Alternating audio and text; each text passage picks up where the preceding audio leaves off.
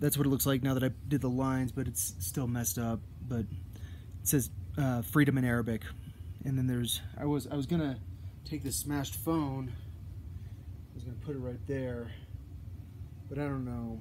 I feel like I messed up this canvas, and um, there's nothing I can do about it. So I was gonna tell Lizzy. Um, I have screwed up so much, and um, I feel one way at one time, and then another time I feel different.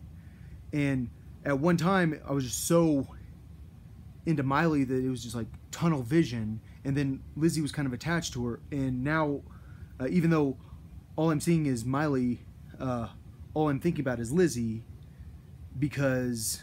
Um, because she's who I want to be around right now. Which I want to be around Miley too, but um, she's who I'm. Who, I don't know. She just.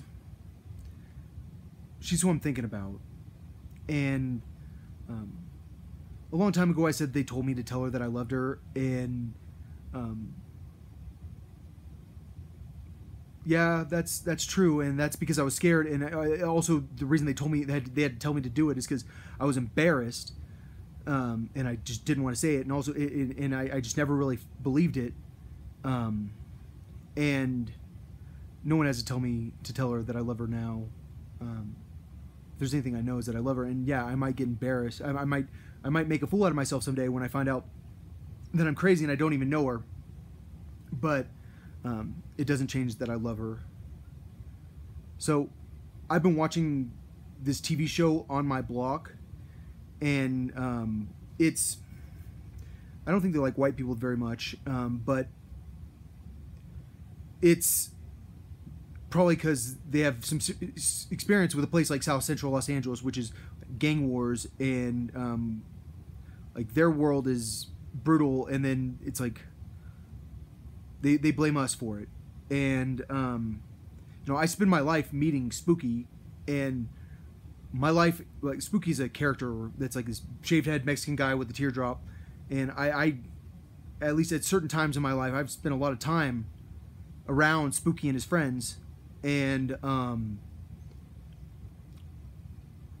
I guess I don't fully, uh, I, I've never, it's hard to fully appreciate how bad things can be in certain areas, and but but also, I, th- I think the reason I'm mentioning that I spend my life around Spooky is because my life's scary and um, I'm I think I'm more scared now than during times in my life where I've, I've been hanging out with guys like Spooky all the time, and so I feel like a lot of us are scared.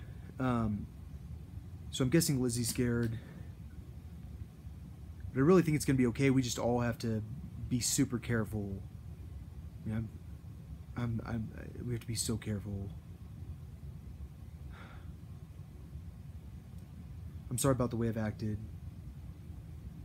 I'm sorry that I'm the way I am, which you tell me something hard hard enough, I am gonna repeat it, and I'm gonna uh, just like I can't help it. Sometimes I get so they they make me so angry about things a person's done that it makes me want to say something, and I can't help it.